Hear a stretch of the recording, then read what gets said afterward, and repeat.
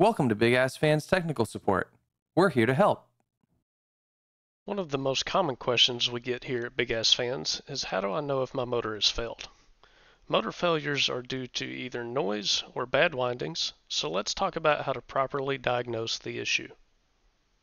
The first step in diagnosing a motor failure due to noise is removing the motor. Remove the four bolts as shown in these two photos and lift the motor free of the fan.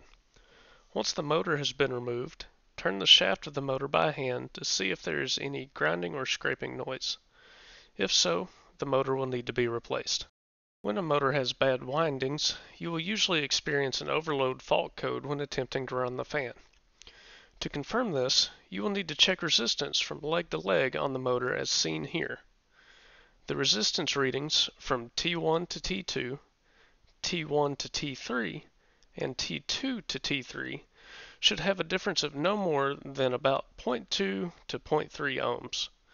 If your motor fails either of these two tests, please contact Big Ass Fans Technical Support with the serial number of your fan, and we will be happy to assist you with replacing your motor.